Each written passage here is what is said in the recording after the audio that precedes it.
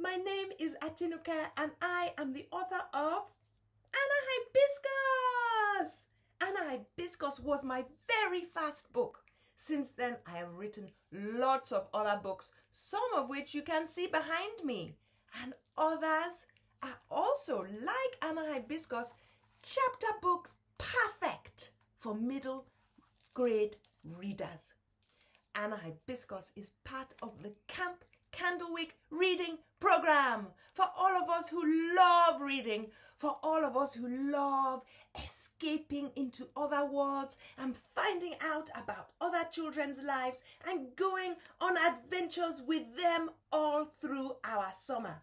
So, if you are interested in Africa, amazing Africa, if you are interested in the country of Nigeria and what it is like to be a little girl growing up there, Hibiscus is perfect